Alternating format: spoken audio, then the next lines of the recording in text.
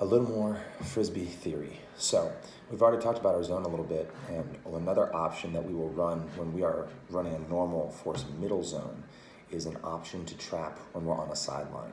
We'll normally only run that option within when we are within about three yards of the sideline. Um, so I drew this out to kind of help symbolize. Red is offense going this way, um, blue is defense. So if the disc is here in the middle of the field, you have the one mark who's, who's on the apex, um, who's always close to the mark, and then your off mark.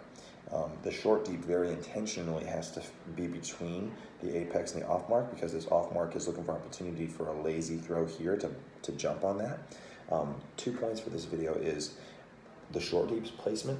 Um, a lot of times this person who's the off mark, like I said, will look to, to jump the lane as the throw comes to here. Um, and they'll, they'll jump the lane and go a little wider, making a bigger hole. And what often happens is this player here tends to counter it by just taking a step this direction and then the throw comes right there and we can't we don't do anything about it. So to stop that, the short deep needs to feel like they're on a bungee cord connected to the, the off mark. And so if the off mark bites the lane, this short deep has to scooch over, not necessarily wide, but scooch over a little bit um, to help cover that for a second, and then they both come right back. Like this, this person here should never stay there. If they bite the lane, they come right back to their spot. So because we can't leave this open lane here in the middle open very long either. So um, quick, like flashes in the lane, come back. Um, so that's one point of this video. The other point is running that trap option. So let's just say that the disc, uh, here's your defense, the disc dumped and it swung and it got all the way to here. As it's swinging, the off mark is going to go mark, but instead of forcing back to the middle like normal, we normally force to the middle, this person will yell trap and um, they'll go ahead and take, and they're, they're just no dump. That's their job. The apex stays the apex, they run over and come to here. And then this person on the far side, presumably this handler has already moved over. So presumably this handler is now here, ready for that dump option. And that person probably moved over to here a little bit. So it looks something like that. But as it's moving, that, that last person in the cup just gets right here and there's no easy dump, no no easy throw to here. That person, if, if this throw happens over here, while that's happening simultaneously, this wing has bitten way in to like here. Or the short deep can do the same and bite in over to here a little bit.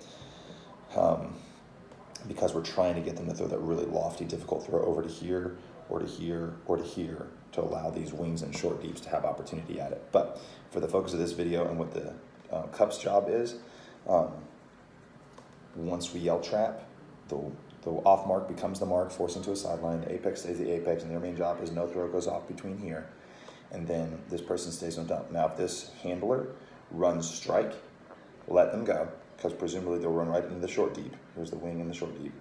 So if they run strike, let them go, and then just take the next dump who's about to fill their spot. The one goes here, the other one comes here. That person who is guarding that dump space guards the area until that person gets there. That's pretty much it. Um, it has to be done on the fly, and it's something that's just takes a little practice to run. Um, but yeah, those are the two main points, is that short deep has to move over and feel like they're connected on a bungee to the off mark in the cup so that when the off mark flashes the, flashes the lane or jumps the lane, the short deep covers with them and then goes right back. And then that option for when we're forcing middle to get to a sideline, we all of a sudden are trapping the sideline and they have no dump option. It's just a way to keep offenses um, from getting into too much of a rhythm. Uh, like they're and, and, it just usually will throw them and give us a quick turn here and there. So if we run that well, it's actually very stifling. Um, and I think it will serve us pretty well uh, going into uh, future tournaments. So anyway, hope that's helpful. Um, let me know if you have questions.